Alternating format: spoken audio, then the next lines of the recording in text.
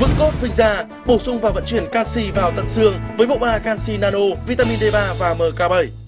Thưa bác sĩ, tôi năm nay 60 tuổi, đau lưng, đi khám và được chẩn đoán là đau cột sống thắt lưng do thoái hóa và loãng xương. Tôi sử dụng thuốc chống viêm giảm đau kết hợp thêm sản phẩm cung cấp canxi để chống thoái hóa. Chắc khỏe xương nhưng tôi bị sỏi thận nên không dám uống canxi nhiều.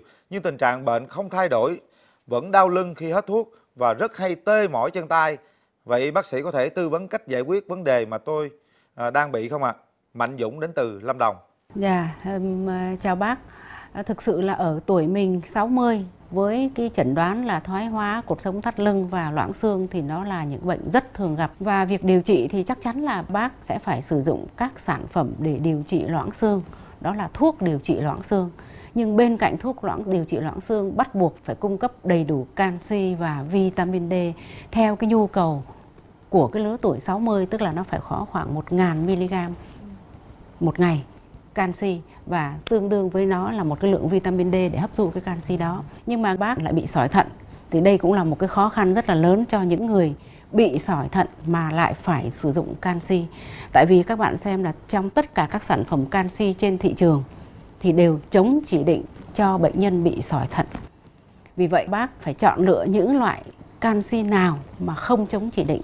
Thì canxi mà không chống chỉ định cho người sỏi thận, đó là canxi thực phẩm. Thì à, canxi trong sản phẩm à, vững cốt là một loại canxi nano, tức là nó là một cái loại à, có trọng lượng phân tử rất là nhỏ và nó sẽ giúp hấp thu rất tốt. Vì vậy nó sẽ không làm cho cái canxi máu bị tăng lên và không làm cho mình tăng cái nguy cơ bị sỏi thận.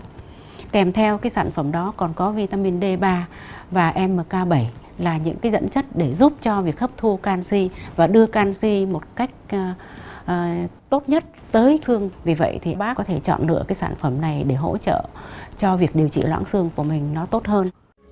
Vững cốt vinh gia hân hạnh tài trợ chương trình này. Ngay bây giờ thì quý vị có thể liên lạc với chúng tôi theo số điện thoại 1900 1259 hoặc là 02439 960 886 để được tư vấn miễn phí. Hoặc quý vị có thể gửi về hòm thư theo địa chỉ sống khỏe a bác sĩ tư vấn.vn để được các chuyên gia tư vấn. Chi tiết tại website bác sĩ tư vấn.vn